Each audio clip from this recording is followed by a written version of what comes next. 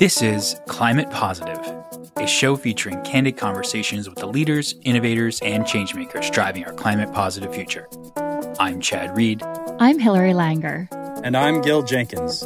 A life economy is built on a supposition that the goal should be to maximize benefits for all life long term and pays people to clean up pollution, to regenerate destroyed environments, to recycle, to develop new technologies that don't ravage the earth. And we've been on a pattern of making that happen. On this week's episode, our guest is Mr. John Perkins, the activist and author of numerous books on global intrigue, shamanism, and ecological transformation, including Touching the Jaguar and the classic Confessions of an Economic Hitman. John and I began the interview by talking about his earlier life as an economic hitman, including his profound awakening on the evils of this work and how that subsequently led him on his journey to becoming a crusader for transforming our failing death economy, which destroys its own resources and nature itself into a flourishing life economy that renews itself. In our conversation, John shares a simple exercise in the form of five key questions we can all ask ourselves to shift our perceptions and move towards this life economy, as he describes it.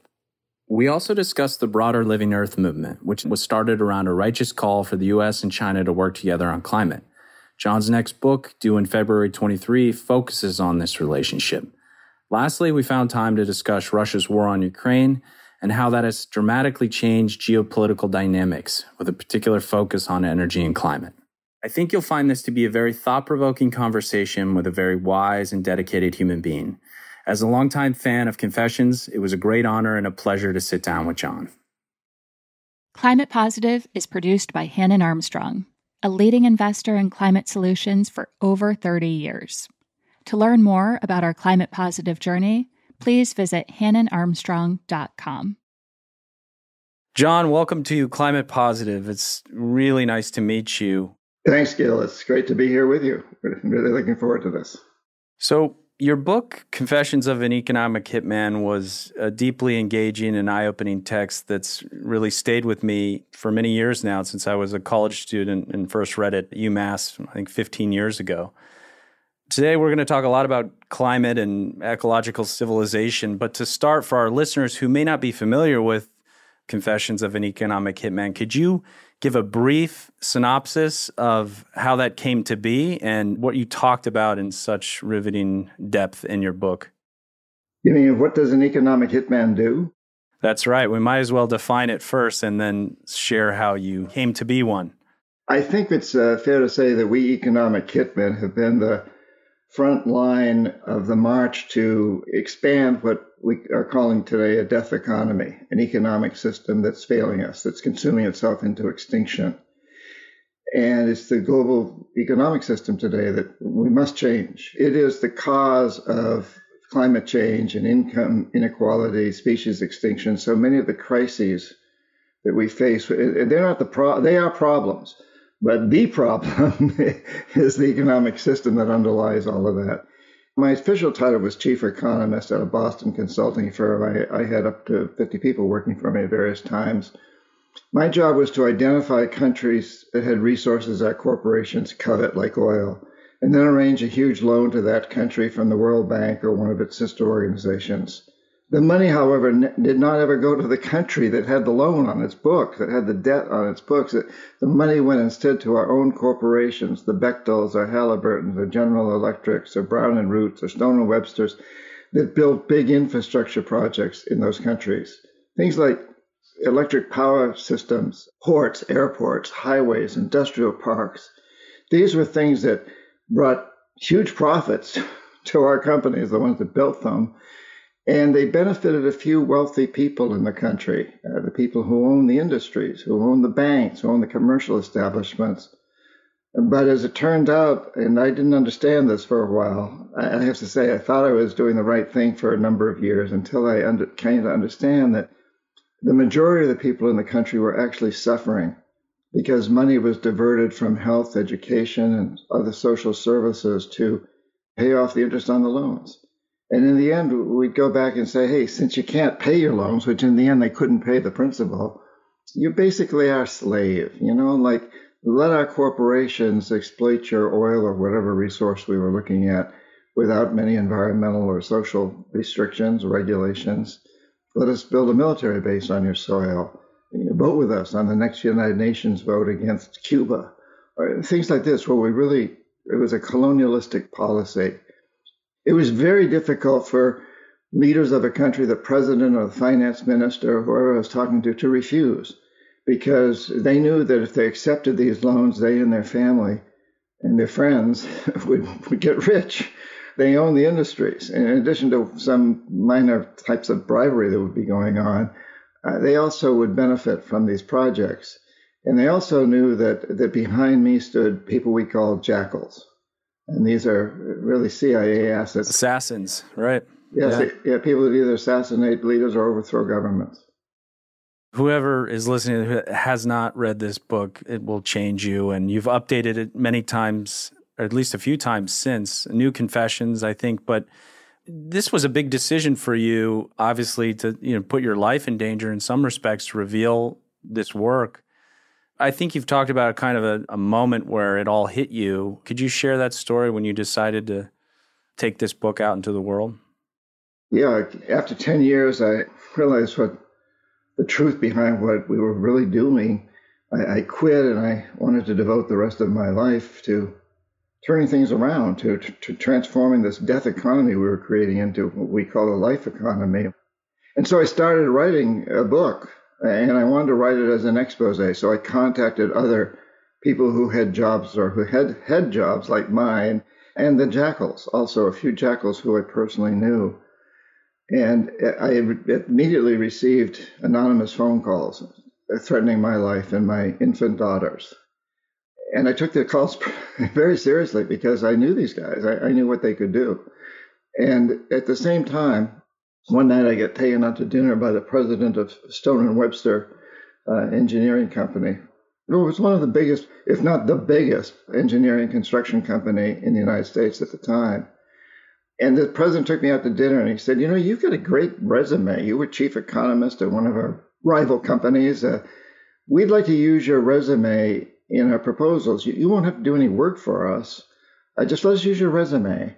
And I'm prepared to write you a check tomorrow morning for $500,000.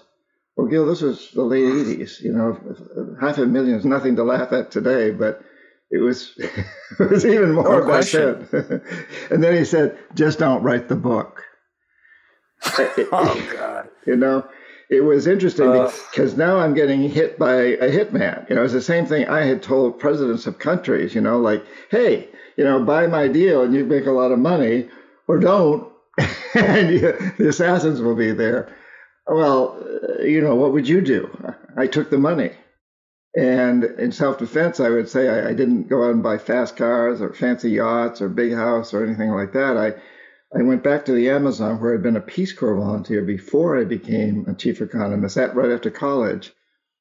And I began writing books about what was going on in the Amazon and the indigenous people. And these were not books that, that attacked the system I'd been part of at all. They were just, they were kind of fun books about shamanism and the Amazon. And Stone Webster was fine with me doing that. And in addition to the retainer of half a million dollars, they also paid me a monthly stipend, a pretty good one. So I, I wrote those books, but then on 9 11, now my contract with Stone and Webster had expired some years earlier. 9 11, I'm in the Amazon. I formed nonprofits that, to help the indigenous people and to teach our people something called Dream Change, and eventually the Pachamama Alliance, which I'm a co founder of. And I was in the Amazon on 9 11, and afterwards I flew up to ground zero in New York and as I, as I looked into that pit, I knew I had to write this book.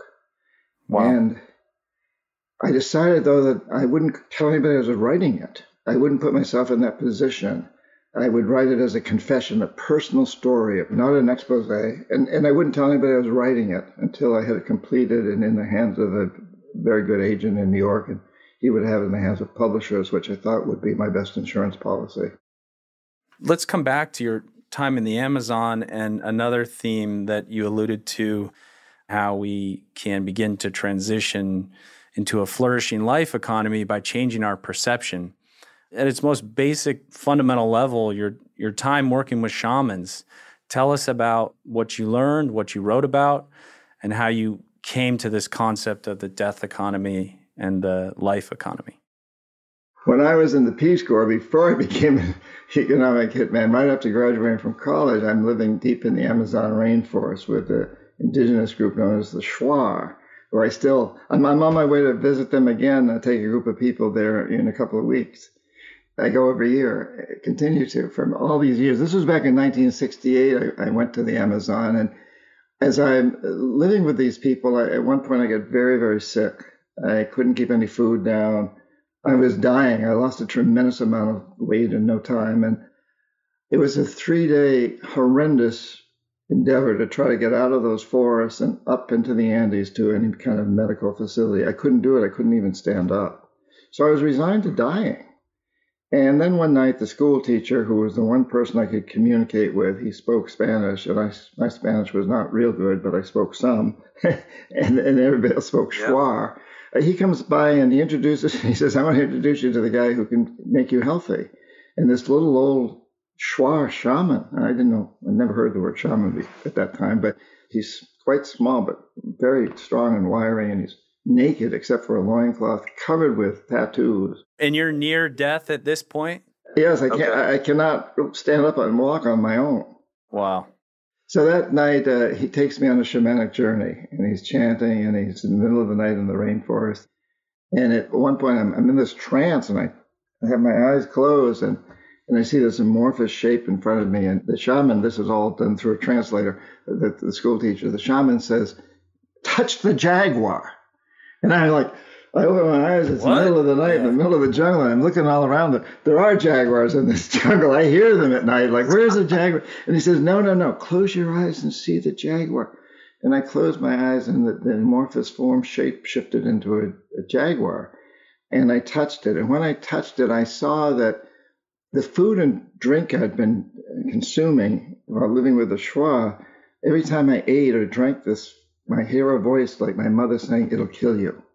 In the Amazon, people don't drink water from the rivers because the rivers have organic matter, dead animals. And animals have died, uh, trees have fallen and rotted, and so forth. The women make a kind of beer by chewing and, and spitting manioc root, and it ferments and sets up a kind of beer, and then you can add water to it. You got to drink a lot of this stuff because you got to rehydrate. It's the, you know, sure. the tropics and there wasn't any Perrier, you know. And so I see that every time I eat squirming white grubs or I drink spit beer, I hear this voice saying it'll kill you. At the same time, I saw how incredibly robust the Shuar are.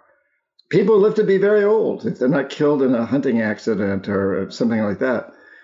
And so I saw on this shamanic journey that it was not the food and drink that were killing me, it was my mindset, my perception. This perception had been drilled into me since I was a boy growing up in New Hampshire, where we ate very mild foods. And after that, I was get healthy very quickly. The shaman then came back and he, he demanded that as payment, I become his apprentice. And 1969. I'd never heard of a shaman. I'd graduated from business school. There was no future in shamanism in those days, but the guy saved my life. So I did. And one of the first things he taught me was whenever you there's something that's holding you back or causing a problem in you, you've got to touch the jaguar. Touch it. Understand it. Don't run from it. You got to touch it.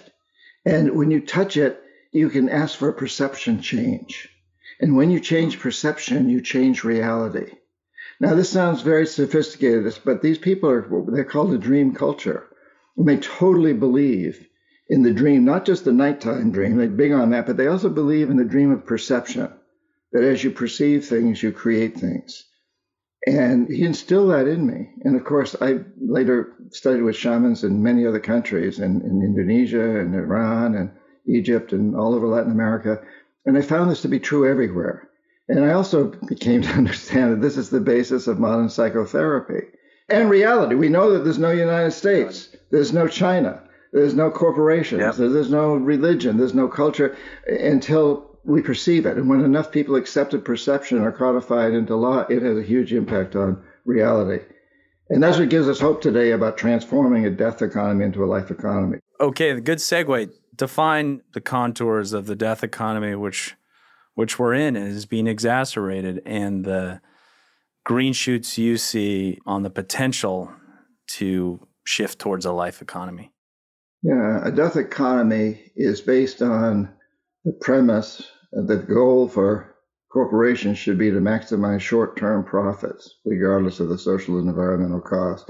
And that was really very, very strongly put forward in Milton Friedman, right? Yeah, 1976. Yeah. Friedman won the Nobel Prize in economics. Before that, as a business school student, before that, I'd been taught that, yeah, you need to make profits, but a good CEO also takes good care of his employees and his customers yeah. and his suppliers and the communities where his businesses are located. That was part of my education in business school. But there was a growing movement that emphasized maximization of profits. And Friedman really topped off that movement in 76 when he won the Nobel Prize. And he was an influential person around the world with Reagan and Thatcher and many others.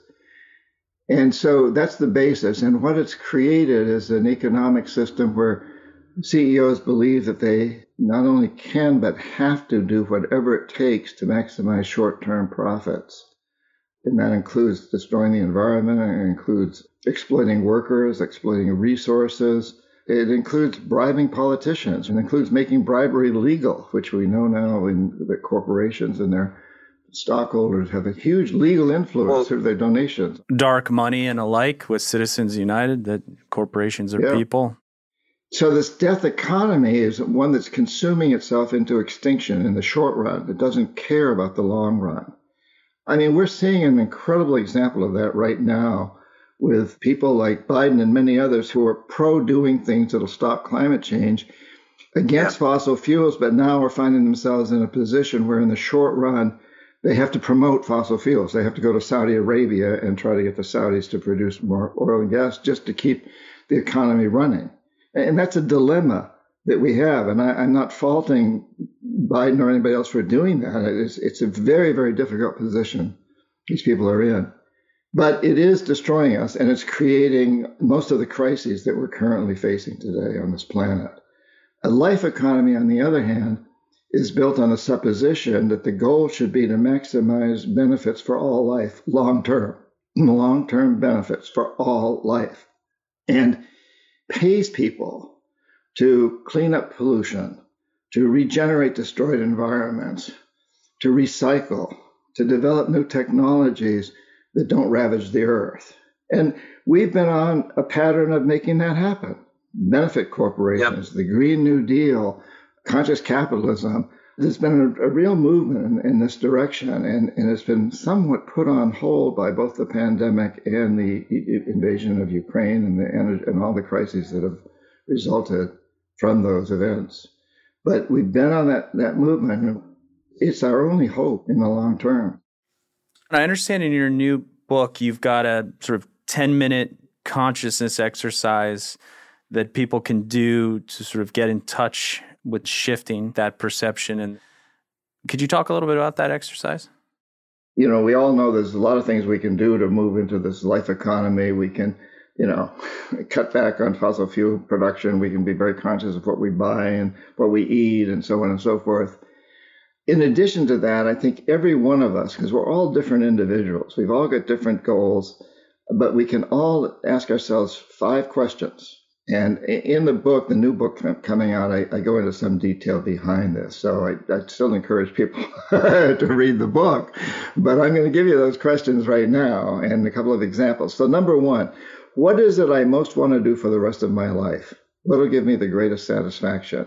And for me, I, the example, I would answer, I want to write. I love to write. I have a friend who's a carpenter, and his answer is, I want to work with my hands in wood. The opposite end of the spectrum, kind of, you know?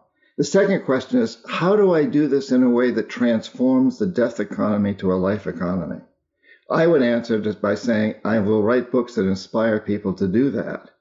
And my carpenter friend would say, I will only use sustainable materials uh, to build houses and cabinets and everything else. The third question is, what's the jaguar that's standing in your way that's keeping you from doing this? Uh, what's the yes. obstacle? And for me, a writer might say, well, I don't have time to write every day. And I know I need to write every day if I'm really going to write, be a writer, but I don't have time. And my carpenter friend would say, well, my clients say, you know, I don't want to pay the extra price for sustainable materials. And the fourth question is when you touch that Jaguar, what happens? How do you change your perception?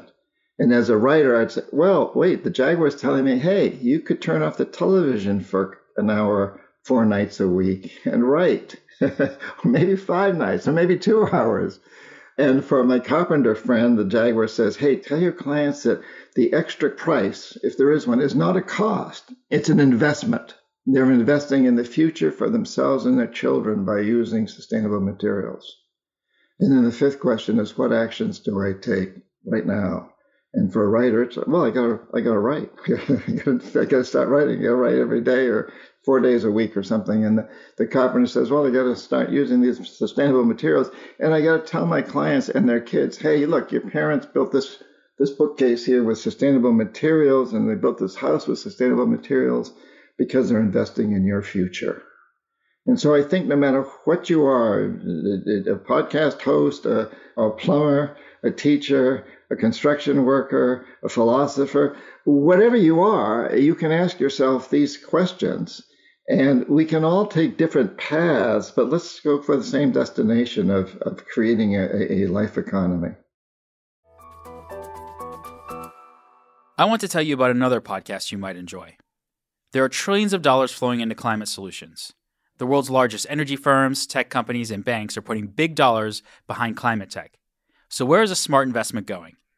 Catalyst, with Shayle Kann, offers an authoritative guide to how we address climate change across the global economy. Hosted by veteran analyst and investor Shayle Kann, Catalyst digs deep into climate and climate tech solutions with the world's top experts and helps us understand the trends that are reshaping the economy and transforming the way we power our lives. Listen and follow Catalyst wherever you get your podcasts. Uh, I want to talk a little bit about the Living Earth movement as a natural segue, which maybe you said it, but you know, you can't make any money on a dead planet. So your criticisms of capitalism, and there's a lot of criticism of capitalism are directed more towards what you call predatory capitalism. But capitalism itself isn't the evil, it's just the perversion of it and how it's led us down this path towards climate destruction. But let me ask you about the Living Earth movement, which is a collection of leaders in the fields of theology, business, science, activism, and academia who are passionate about combating climate change and preserving life as we know on the planet. I know you're working with Dr. John Cobb on this, but how did you get involved with this particular movement? And then I'm going to ask you more about your book and US China relationship. Yeah, they kind of tie together because John Cobb is just celebrated his 97th birthday and he's very eloquent. He's a remarkable thinker and philosopher and human being, and he's been extremely influential in China as well as in the United States. He is a process theologian. He, he promotes process philosophy. And I think there's 36 institutions in China that he's formed around that over the years. And I got involved with him because I was working on this book about China and the United States. And uh, I knew that he had very good contacts. So I, I, became part of the Living Earth movement, which was formed around him. And at this point in history, it's, it's not so much as a, of a movement as a discussion amongst people which is hopefully leading to a movement. But John Cobb last year wrote a very short, concise, incredibly eloquent, powerful letter to both Presidents Xi of China and Biden of the United States, pleading with them to come together to end climate change. And he said, you know, you guys can disagree on everything else. you can disagree on politics, you can disagree on Taiwan and, and Afghanistan and, and on and on, but please agree that nobody lives on a dead planet.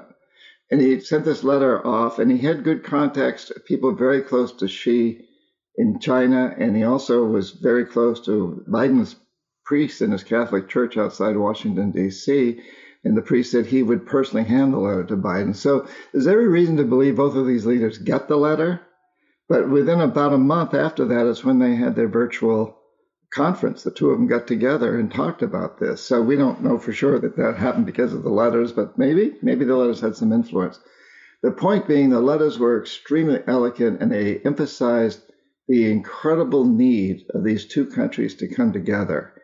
And we know today that China has basically outdone the United States, that their economic hitmen have, have learned from our, the successes and failures of, our economic hitmen, people like me.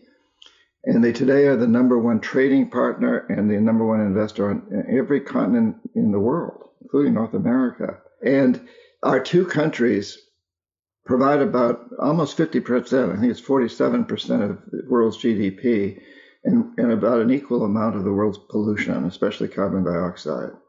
So if these two countries can't agree to end this insanity that we're on of the creating climate change, we're doomed. Why do you think it does seem so paradoxical for anybody to say we should be working with China on anything? There's the the saber rattling. The, mean, we're almost in a cold war. You know, Biden has continued the trade war with China. Politicians on both sides of the party regularly are upping tensions, and we see what's happening in Taiwan. I agree with you, and this is the most existential threat of our time, and it doesn't work with the two largest economies and the two largest emitters not getting together. So I applaud you for talking about this differently because the whole other conversation in China is not about this. It's about suppressing them and winning. Well, it's particularly true, I think, in the United States that the politics, in a way, dictates that anybody who wants to be elected or stay elected to high offices in the United States has to have an enemy. And right now, the enemy is China, and it's also become Russia recently. And of course, there's this attempt to to align the two strongly with each other, and they have somewhat aligned, but not as strongly, I, think, as as our politicians would like us to believe. I've spent a lot of time talking with Chinese people. I taught in an MBA program in Shanghai to Chinese students, uh, and Uh, I did not find this to be as true in China. And I, I think that's changing now a little bit too, because I, I think the because the United States has been so aggressive in, in, making China the enemy that it's it's put Xi in a position and, and other leaders in China. So Xi has about seven top people that he kind of reports to. He's not the all powerful leader that we all think he is. He is powerful, but it's not what right. the Americans are, are, led to believe that this guy is like some sort of a Hitler type all powerful leader. He's not. He, he's got a very strong faction that opposes him, a very powerful family that opposes him, that he has to be very aware of. Anyway, when I was teaching in China, uh, these young students, uh, MBA students who were singled out, they were members of the Communist Party, they'd been singled out to be the future leaders of China. And one after another, I heard them say, you know, we've grown up with terrible pollution. We haven't been able to breathe the air in our cities, drink the water, and, and so forth. We don't want that for our kids. We've created an economic miracle. They said, you know, since the mid 70s, China has brought almost 800 million people out of dire poverty. It had 10% on average economic growth for 30 years. No other country has done anything like this. And they would say this, the students, they'd say, we, we created an economic miracle and it came at a terrible cost environmentally and socially. But we felt that cost. We've been part of, we've been on the receiving end of that cost and we don't want it anymore. We don't want it for our kids. And so we've proven we can create a miracle. So now we're going to create a green miracle. And, you know, I, I think they really believed that. And I don't know, you know, whether they'll be able to do it or not, but I think they really felt the urgency.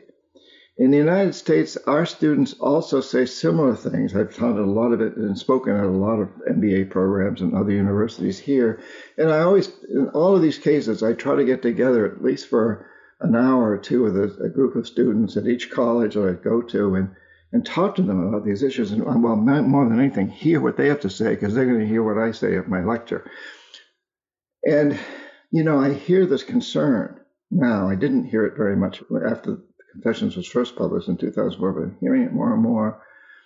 But a major difference is that for us, it's relatively intellectual, which is important. It's, it's an important, it's being spoken right. about all, you're talking about, everybody's talking about climate change.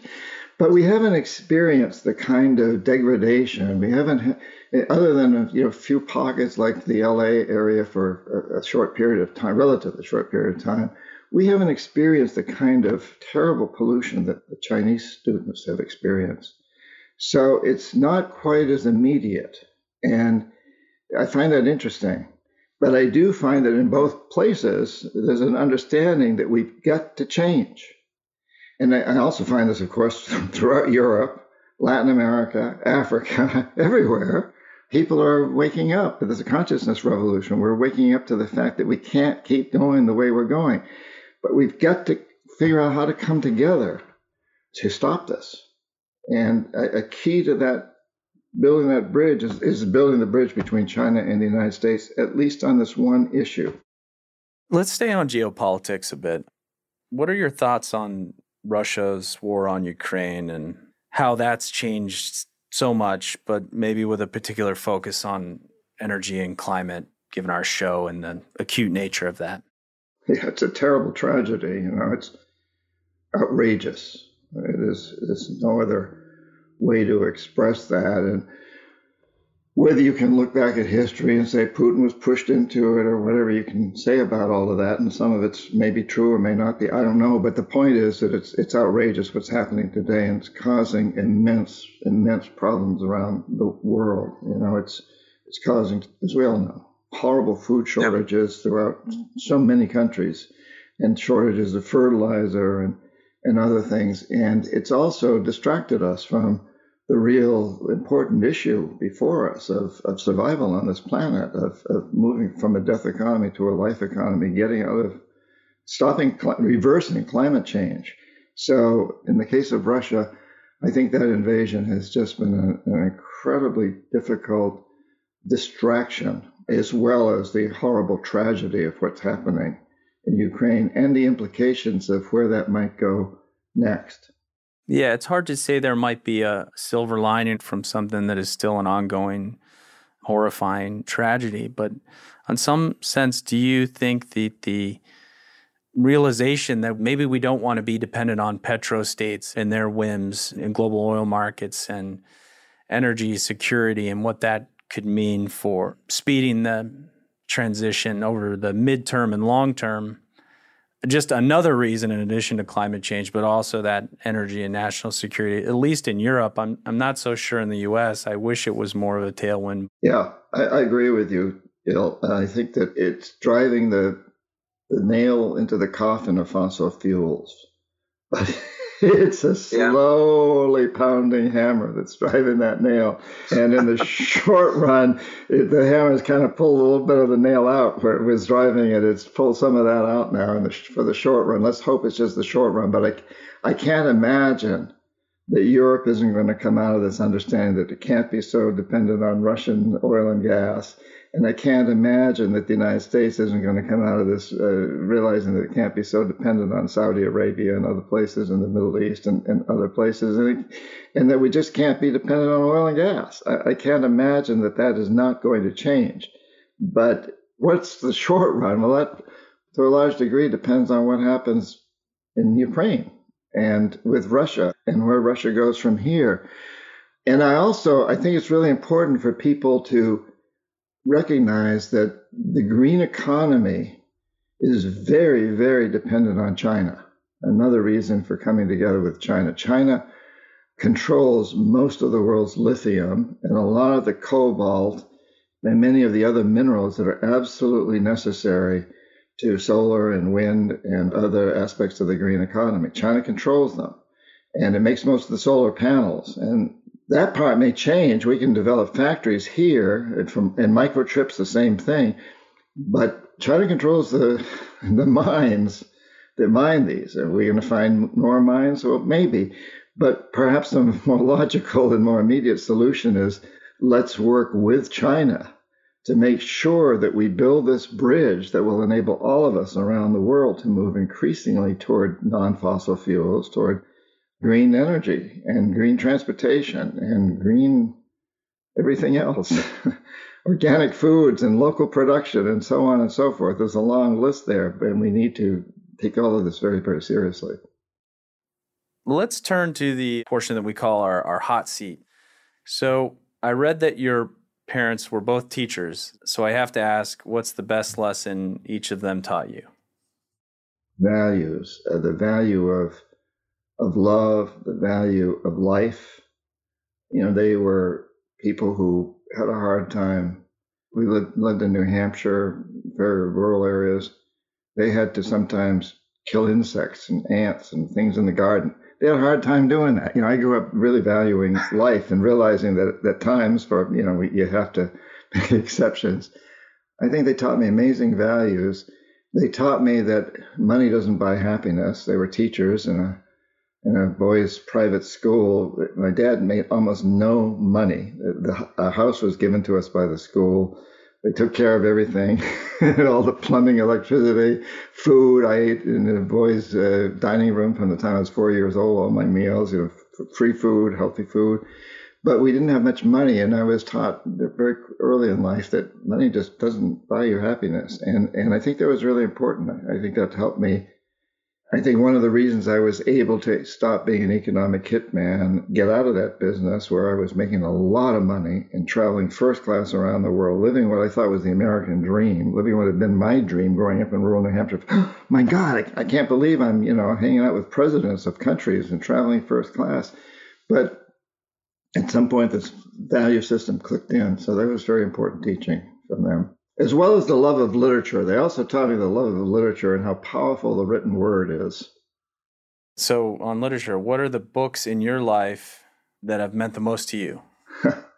oh my gosh. I, I, tend to think very much in the short run right now. And I, I recently uh, read a book called uh, The Most Beautiful Girl in Cuba and it was about the fight for independence against Spain in the late 1800s and William Randolph Hearst and how how important the perception was. It says Hearst was trying to you know use this example of this woman, what he called the most beautiful woman in Cuba, who was put in prison in Cuba by the Spaniards to incite America to enter the war. And it's a powerful book because it tells so much about what my life was about, you know, many years later. So yeah. that's an important book. I, I love Graham Greene's The Power and the Glory. Uh, there's been a lot of lot of books. You cannot beat Shakespeare's Macbeth. I mean, that's the ultimate story of, of the economic hitman, you know, and the there jackal all rolled into one. Yeah. Yes. How do you connect with nature personally? I live on this island that's got beautiful forests and I go into them almost every day. I usually jog. I like to jog, but I don't like to jog on asphalt. I jog on, you know, forest uh, dirt. and then I go to New Hampshire and where I grew up. I spend a couple of months there every year in August and September after I get out of the Amazon. I go there and I go to the Amazon. And of course. So I love to get out into nature. But when I'm in a city or someplace where I, I can't do that, even sitting in a in an apartment or a hotel room 50 stories up, 30 stories up, or whatever, I'll feel that these walls are all built out of nature. This chair comes from nature. Everything comes from nature. And, and I go into that. It's all the elements. And I'll do a little meditation. You know, I, nature is just everywhere and it's within us. So I'm connecting with it constantly, frankly. What gives you hope today? Young people, people I mentioned in colleges in the United States and Latin America and Europe and China. I also uh, spent time in Russia in 2017 before this invasion, and uh, I was speaking on the same stage as Putin, in fact, at a big economic conference and hanging out with people there that, that I felt that were the Russian people. So I feel around the world there's a consciousness revolution, there's an awakening. And, you know, whenever there's a revolution, there's always pushback. The status quo tries to stop it. But good revolutionaries or agents of change use that, take energy from that. So I've practiced martial arts most of my life. And as a martial artist, I know that if I'm up against someone who's bigger and stronger than me, I can't try to overpower him. I got to use his energy against him, you know, hmm. turn it around. And that's what revolutionaries do with those who push back. And I think we're at a time right now where everybody in the world, or most everybody in the world, is waking up. A lot of people, let's say a lot of people are waking up. And there's also this strong pushback by the status quo. But we've been on a pattern of moving forward to, toward change. And we've had a bit of a setback now with the invasion of, of Ukraine, as we've talked about. But I think we're still on that pattern. That gives me hope. And I get hope from these young people I talk with all over the world. Last question. Finish the phrase. To me, climate positive means transforming the death economy into a life economy, moving away from this idea of maximizing short term economic benefits, short term materialism, short term profits, to maximizing long term benefits for all life. Wonderful. John, thank you so much for coming on our show. My pleasure, Gil. Climate Positive is produced by Hannon Armstrong. If you enjoyed this week's podcast, please leave us a rating and a review on Apple or Spotify, which really helps us get more listeners. You can also let us know what you thought via Twitter at ClimatePosiPod or email us at climatepositive at hannonarmstrong.com. I'm Gil Jenkins, and this is Climate Positive.